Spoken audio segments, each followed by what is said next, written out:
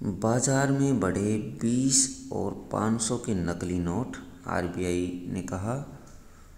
Reserve bank की सालाना report में खुलासा हुआ कि पिछले वित्त वर्ष में, यानी 2022-23 में नए डिज़ाइन के 20 और 500 के नकली नोटों का चलन बढ़ गया है। आरबीआई ने कहा है कि बीस रुपये के नोटों में आठ पॉइंट चार और पाँच सौ रुपये के नोटों में साढ़े चौदह परसेंट की वृद्धि देखी गई है। आंकड़ों के मुताबिक वित्त वर्ष 2021-22 के मुकाबले 22-23 में बैंकिंग सिस्टम में पाँच सौ रुपये के इक्यानवे हज़ार एक सौ दस नकली नोट पकड़े गए। वहीं दस सौ रुपये और दो हज़ार रुपये मूल्य वर्ग में पाए गए नकली नोटों में क्रमशः दस के साढ़े ग्यारह प्रतिशत और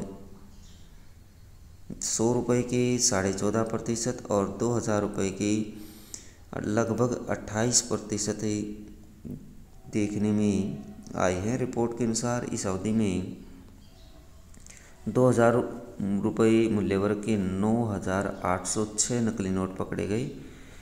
इस बार दो पॉइंट दो दो लाख नकली नोट पकड़े गए हैं।